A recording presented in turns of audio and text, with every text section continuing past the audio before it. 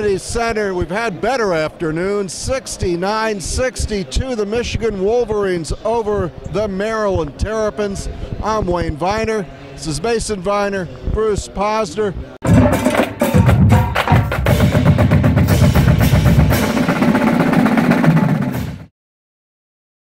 Bruce, we'll go with you. What did you see this afternoon? I saw the better team win. I mean, there was no doubt about it. Best player on the court was Xavier Simpson and uh, Brazdeikis. Brazdeikis. yeah. Brazdeikis was incredible. Gave the fans a lot of hell, but you know they gave him a lot of hell. But they were both super. Those hook shots, you know, those hook shots were unbelievable. You know, I, I don't know what else to say. And we had a chance when we had a chance to cut into the lead down the wire, could get a stop. You can't get a stop. What happens? You don't win. Nope. And you were saying they're letting the game get away under two minutes and uh, were hoping the defense would come up with something. Where but were the fouls at the end? I don't know why they waited so long with the fouls. uh, they were still why in the wasn't game, the big guy being fouled almost every which time? is Teske. Uh, Mason, what did you see out there? Uh, the better coach team won. Better situational coaching, better end of the half coaching, better end of the game coaching. They just they win because of the way they're coached and the way they're made to play. They play in the situation of the game. They don't the way Michigan plays, they don't have any this is how we do it. They let the game flow and then they decide how they're going to do it, which is the way the game it's there is no set way to win a basketball game. Every game is different. You, you seem extra salty today. This one really got to you, Mason? the better I team always wins, Mason. Let me tell you something. Well, that that's not and that's they're not better. right. And it's that simple. All right. They beat us by 30 last year. They beat us by how many up in Michigan? 13? 13. 13, but And here they beat us at home By by seven. and we really weren't in the game in the last five minutes. We were barely in No, the uh, that that's sort of. I'll give my take on this when we come back from break. Uh, wow, 69-62, Michigan over the Terps. We'll be back in a moment. This is Mason Viener. Listen to the Young Terps podcast on CapitalSportsBlog.com and TerpTalk.com, the number one rated Maryland sports podcast. NPS Nonprofit Services has the technology and know how to achieve your nonprofit goals. We have all the tools that you need for your nonprofit to be successful, including tech support, consulting, development strategies, and business continuity to make sure your data is safe on prem or in the cloud anywhere all the time. Call NPS at 877 797 8776. We're easy to reach and easy to work with.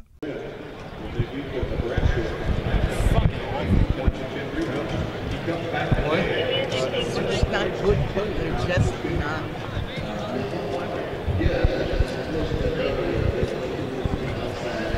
How the hell can they go to the Big Ten tournament in three games? I don't, I don't think you Now they're going to lose four. So now they're playing the first game. Mm-hmm. All right. I don't know who they play. Yeah, we'll, we'll get, we're going to end up playing Wisconsin if we can't pull this off. That's if we win. If we win. All right. we might be playing Indiana. All right, well, we'll complain about that later, but let's, let's get back to this. Three, two, one. Back here at, at Xfinity Center, it was a big crowd. Uh, it was a jumping place. It was fun for a while. And Maryland looked early on like they had it, had it going on. It got away. End of the first half did not end well as Simpson drove for a layup. Came out, and you got back in this, and the offense stalled. When you look up at the scoreboard, they just turned the score off. We only had 40 something points with, with a few minutes to go. We scored a lot at the end. Offensively, they took us away from what we wanted to do. Bruno really couldn't get loose. Defensively, when they ran the pick and roll, most teams try and get Sony open for a three. Michigan was getting players open for dunks. Now, I know they were great passes, but Simpson set us up. Simpson's fantastic. fed You, you got to give credit where credit's due. The guy's unbelievable. But I have to tell you, I thought Sticks had a great moment tonight. Maybe his best of the year with the three straight buckets. And uh, Bruno is. It seems like he didn't play well. Still got a double double as always. And Um, the six blocks were, were impressive. six blocks. They needed- Cowan, Cowan, you just Didn't have can't, it. you just can't win when you're At one point, he was one for 11 with a few minutes left. Hit a couple shots to bail out his numbers, but of course that doesn't mean much. And Mason's asked repeatedly, why why is it run this way, just the way we do it? Sometimes it works. We still have 12 wins in this conference. 12 and 7 Yeah, but now. they've gone away now. Gone I mean, look at the opportunity they had the other night. Wisconsin loses a game that they shouldn't lose to Indiana. You go out to Penn State and you lose. Yeah. And then you come back here, and every important person's at this game. Everybody's here. And what do they do? They come out and they have the same thing. They disappear for four minutes.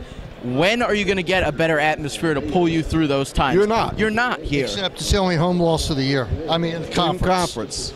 You know what? We lost. We were outplayed. The other team was better. However you want to look at it, Right. they were more ready. They took the challenge of playing in this place, and they rose to the occasion. Very, very disappointing. Wayne, how in the world are we going to win three games in the Big Ten tournament? If you play like this, you're not. I mean, Uh, really, when you look at it, Maryland never has been a great conference tournament team. They really haven't in this one. Um, I mean, and you look at the conference. There's no easy game. You're not getting an easy game. If they were, if they, even if they had the double bye, they weren't getting an easy game. So No, they were just avoiding a hard game. Right. yeah. I mean, You know, but it is time. You know, we often get fired up after these football games. You just can't play like this.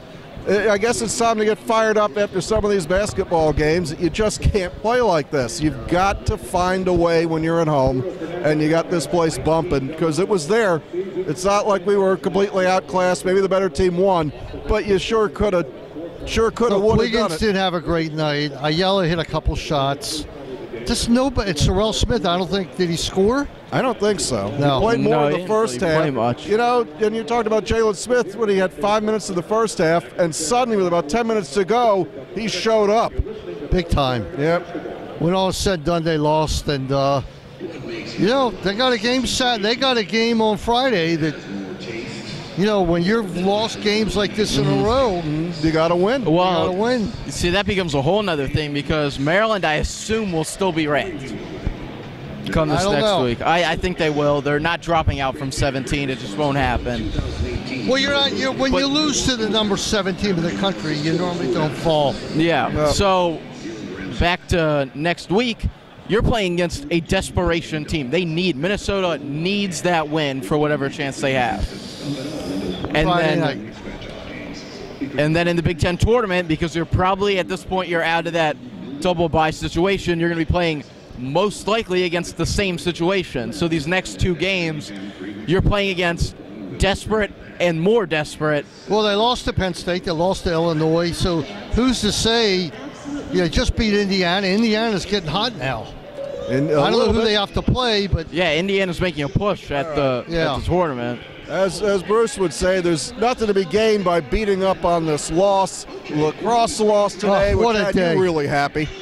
I I started this day off bad with that uh, 14 to 13 overtime loss, as the Terps were forced to play indoors in an arena that Notre Dame practices all the time.